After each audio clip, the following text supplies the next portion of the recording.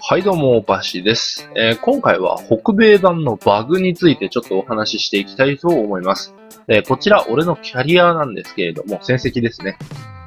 あの、おかしいところがあるんですよ。勝率0.44。これね、あの、この間 YouTube の方でコメントいただいて気づいたんですけれども、あの、このようなコメントがありました。なぜ勝率は0.41なんですか ?AW では誰にも気づかれないと思いましたか？さらし。で、それに対しての他の人たちが、こいつは途中抜けしまくってるからだ。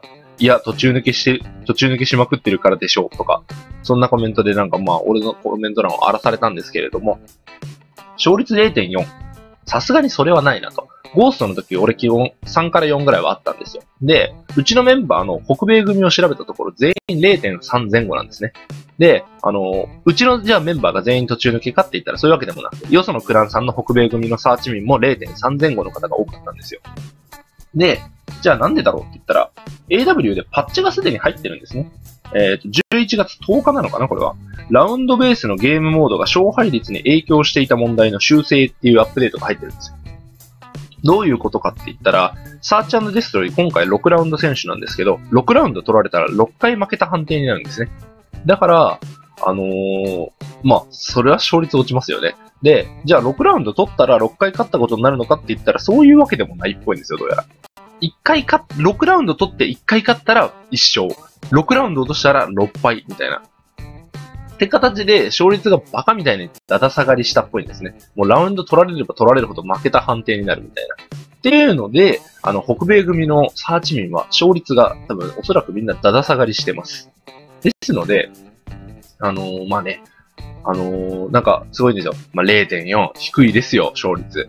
でも、鬼の首取ったぞぐらいの勢いでなんか喜んでなんか、さらし、わらみたいな感じで、ドヤ顔でコメントしてますけど、バグですからね。あの、あの、俺のこと叩くのはいいんですよ。事実でしたら。さすがにね、バグで人を叩くのはね、どうよ。ずるくないですかちょっとなんかそれは。ということで、まあね、勝率、あの、北米組の皆さんもね、気になってたと思います。なんで俺こんな勝率低いんだろうみたいな。あの、字幕版が発売寸前にパッチが出てまして、まあ、そのせいでね、あの、それまでの間バグがあったから勝率が低いということで、皆さんね、北米版の方のルレは気になさらない方がいいと思います。えー、まあ、今回はね、このような話で、もう、あの、ツイッターの方でも、あの、なんかこの話をいただいて、あれ俺勝率0.4ってなんでやろ？みたいな感じで書いたら、みんなから、勝率なんて気にすることないですよ。楽しめければいいじゃないですかみたいな。なぜか知らないですけど、なんか慰められるみたいなコメントばっかで。え？いや、ち、違うんだよ。俺が聞きたいのはなんかこういうパッチありましたよみたいな。誰か知らないかなっていう意味で書いたんだけどと思って。って思って調べてみたら、やっぱそういうパッチが来てまして。ということで、じゃあ意外とね、皆さん知らないんじゃないかと、この勝率のバグに関しては。ということで、えー、皆さん勝率は気にする必要ないよというお知らせです。まあ、ちなみにですね、これゲームモードのところで各ゲームルールの勝率見れるんですけれども、勝率が勝敗比率ですね。